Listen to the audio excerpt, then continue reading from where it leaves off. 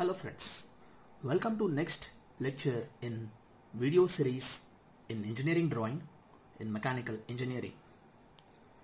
So friends, we will be seeing chapter number 2 projection of straight lines in this video. We will be discussing about the different cases that is the orientations of lines in the first quadrant. So to know what are these different cases and how to do these projections of straight line, please stay tuned with this video lecture. So before we begin friends, I request you to please subscribe to this YouTube channel if you have not yet subscribed. Please like our Facebook page Mechanical Engineering Tutorials. Please follow us on Twitter and Instagram. The links are in the description below. In this lecture, we will see the projection of lines when it is placed in different orientation. So we have five different cases. So let us take first case number one. Here the line is perpendicular to HP and parallel to VP. So you can see in this figure the orientation of the line when it is perpendicular to HP and parallel to VP. The shadow of the point in the front view falls on the vertical plane and the shadow of the point from the top view falls on the horizontal plane and it is a point. So I'll just represent it in the orthographic projection that is your horizontal plane is rotated in clockwise direction. So friends please note here from projections of line onwards we will be focusing only on quadrant number 1 that is first quadrant. So in first quadrant VP is above XY line and HP is below XY line. So the top view will come as a point below XY line as you can see in this projection towards the right. So in the front view, we have a vertical line that represents that represents the front view of the line AB and the top view is A in the bracket B and it is a point. It means that when you see from the top view, you first see point A and below point A lies point B. So this is case number one when line is perpendicular to HP and parallel to VP. Coming to case number two, the line is parallel to HP and parallel to VP as you can see in this figure so in the front view, the projection or the shadow of the line falls on the vertical plane and it is a straight line. In the top view, also the shadow of the line falls on the horizontal plane and that is also a straight line. And this is represented in the orthographic projection towards the right. That is both front view and top view are parallel to XY line and they represent line A dash B dash and AB. So again, this is in the uh, first quadrant. So front view will be above xy line and top view will be below xy line. Now friends, let us see case number 3. So in this case, the line is parallel to vertical plane, but it is inclined to horizontal plane. That is, it makes an angle of theta with HP.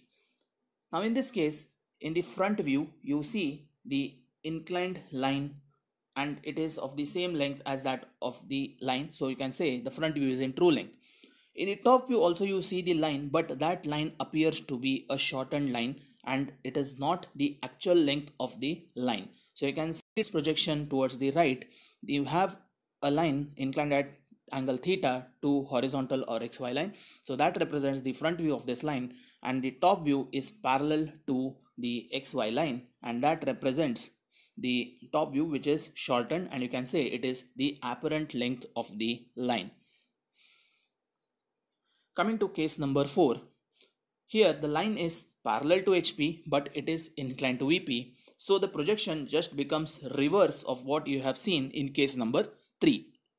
You will have the front view parallel to XY line and a top view inclined to XY line making an angle of theta so in the front view, when you see the shadow of the line is smaller than the actual length of the line. So we can call that as the apparent length of the line. Whereas in the top view, we have the original length of the line and that we can say it is the true length of the line. So the projection you can see towards the right of the figure. Now coming to case 4, when the line is inclined to both HP and VP. So in this case, both the front view and top view appears to be inclined to HP and both of them are not in the true length and none of the views are parallel to xy line. So this is what you can see in the projection uh, saying projection towards your right. So one thing to note over here friends just coming to case number 3 and 4 when the line is parallel to any plane say for example in case number 3 the line is parallel to vertical plane. So the front view of the line will be in true length. And since it makes an inclination with the horizontal plane the top view of the line will be apparent length. So in case number 4 it is parallel to horizontal plane. So top view of the line will be in true length. And since it is inclined to vertical plane the front view of the line will be apparent length. So in case number 4 the line is inclined to both HP as well as VP. So in this case, the front view and the top view both will be in apparent length. And now we will see in the forthcoming lectures that is taking up examples on these lines and we will be focusing or learning mainly the case 5 type of problems. So here given the apparent lengths we need to obtain the true lengths and given the true lengths of the line we need to obtain the apparent lengths of the line so we shall see the procedure in the next forthcoming lectures in projection of straight lines.